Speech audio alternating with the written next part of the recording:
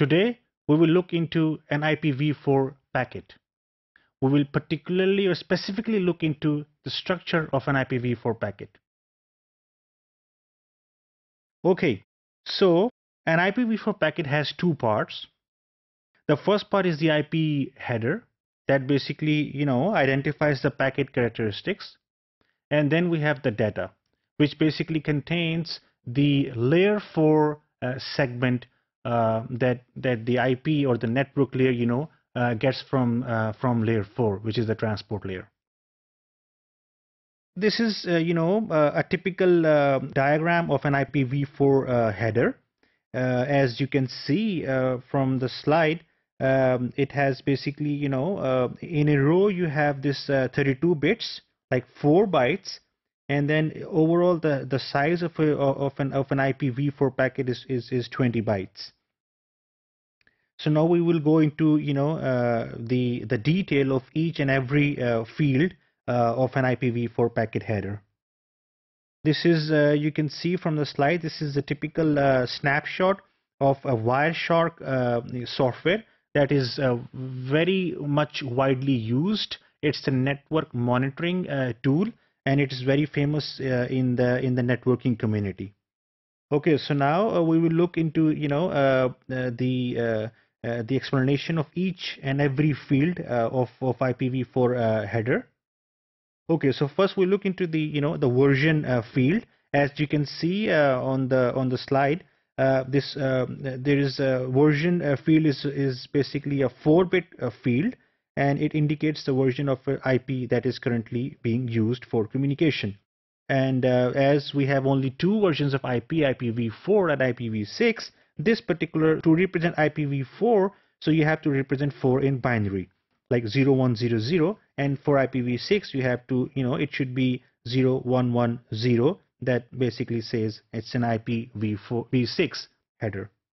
Okay, so the next field is the IP header length field and that field basically identifies the you know the number of 32-bit words in the header so the minimum value for this field is going to be 5 and as you can see from the slide uh, because the value of the bit represents a 32-bit word so 5 multiplied by 32 is going to be 20 bytes which is the minimum size of an IPv4 header and the maximum value it can go up to is 15 which is basically around exactly 60 bytes uh, of packet header.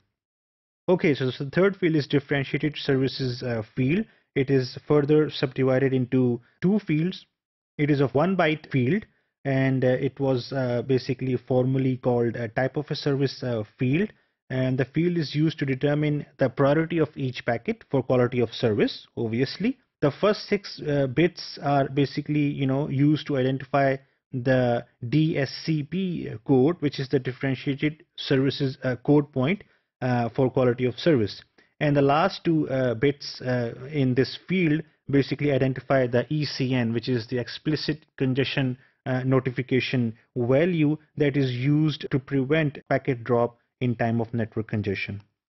Okay, so now the, the fourth field is a total length field. It's a 16-bit field that tells you the overall the packet length which includes the header and also the data and the, the you know the value is basically you know um, uh, described in terms of bytes so the minimum length is gonna be 20 bytes which means uh, only the header plain no data and the maximum is going to be 65,535 bytes to be exact and then you have this uh, you know the 32-bit uh, for uh, fragmentation and reassembly and this is used because you know a router may have to fragment a packet uh, when it is going to you know forward it to uh, to a medium whose uh, maximum transmission unit or MTU is smaller than the one it has received.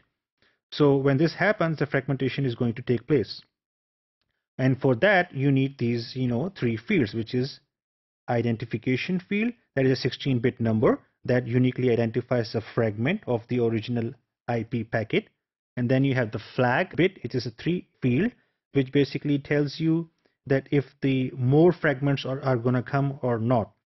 And then you have the fragment offset uh, field. That field basically is, uh, you know, a 13-bit uh, uh, field, and it tells you where you are going to basically put the fragment when you are going to reassemble the packet. So it tells you the location of the of the fragment that you have received and where you're going to put exactly in your uh, in your final packet. Okay, time to live is TTL. Uh, it's it's an 8-bit field that is used to basically you know uh, limit the lifetime of a packet. Every router or every node that basically receives the the packet is going to decrement this TTL field by one, and it is commonly referred to as hop count. And if the value of this TTL field reaches uh, to zero before it eventually uh, go you know um, received by the destination, if it reaches to zero before that, then the router is going to drop that packet. The next field is the protocol field. It's an 8-bit field that basically tells the, the you know the, the type of data that the packet is carrying and uh, it has its own uh, values every uh, protocol the upper layer protocol uh, has its own value being given by IANA uh, for example the ICMP if it has an ICMP packet in the data then the value is going to be 1 for TCP, it's going to be 6. For UDP, it's going to be 17. Okay, so the next field is the header uh, checksum field. It's a 16-bit field that is used to uh, basically, you know, find out any error in the IP header. And checksum field is basically uh, calculated at every hop, which means that by every router. Okay, so we have a 32-bit uh, source IP address field, which is an IP uh, IP address and then we have uh, also the destination uh, IP address field uh, in the IPv4 uh, packet header. So this is uh, all we uh, studied about the structure of an IPv4 packet. in particular, we looked into each and every field of an IPv4 header.